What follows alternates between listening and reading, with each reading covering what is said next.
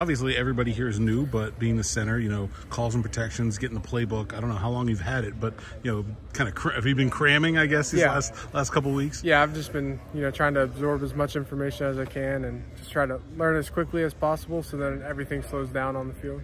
This offense is obviously new here to everybody, but what what kind of take away from what you've seen, what you're, they're asking me doing, is a lot of what you've done before, or maybe is some of it a little bit different.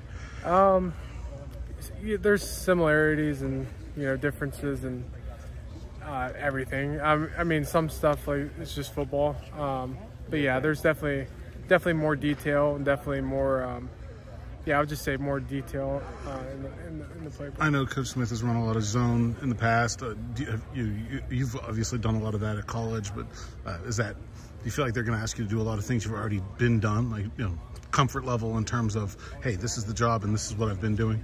Yeah, I think so. I mean, yeah, yeah. Like, I mean, same type of plays that we had in college is you know, wide zone, tight zone, gap. It's Yeah. Same plays everywhere, pretty much. So, yeah, I feel confident in doing that.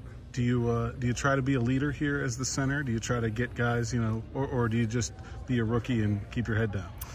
Um, I think it's my job to, you know, take care of myself first and, um, you know, make sure all my ducks are in a, in a row before I try to start leading others. Um, but yeah, just